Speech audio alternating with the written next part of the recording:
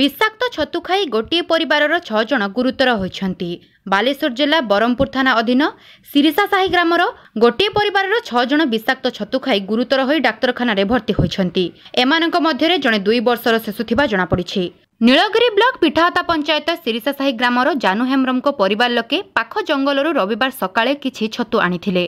ଦ୍ୱିପ୍ରହରରେ ତାକୁ ରୋଷେଇ କରି ଖାଇବା ପରେ ପରିବାରର ସମସ୍ତ ସଦସ୍ୟଙ୍କୁ ବାନ୍ତି ହୋଇଥିଲା। ପରିବାରର ଛଅ ଜଣଙ୍କ ସ୍ୱାସ୍ଥ୍ୟ ଅବସ୍ଥା ଗୁରୁତର ହେବାରୁ ତାଙ୍କୁ ଶହେ ଆଠ ଆମ୍ବୁଲାନ୍ସ ଯୋଗେ ମୟୂରଭଞ୍ଜ ଜିଲ୍ଲା ଉଦଳା ଡାକ୍ତରଖାନାରେ ଭର୍ତ୍ତି କରାଯାଇଥିଲା। ତେବେ ସମସ୍ତ ସଦସ୍ୟଙ୍କ ସ୍ୱାସ୍ଥ୍ୟ ଅବସ୍ଥା ସ୍ଥିର ରହିଥିବା ଡାକ୍ତର କହିଛନ୍ତି।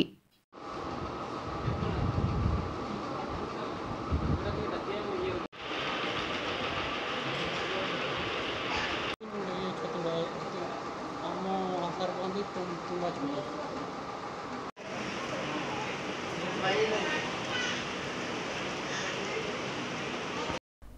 ସବସ୍କ୍ରାଇବ୍ କରନ୍ତୁ ସଙ୍କେତ ଟିଭିର ୟୁଟ୍ୟୁବ୍ ଚ୍ୟାନେଲକୁ ଏବଂ ବେଲ୍ ଆଇକନ୍କୁ ଦବାନ୍ତୁ।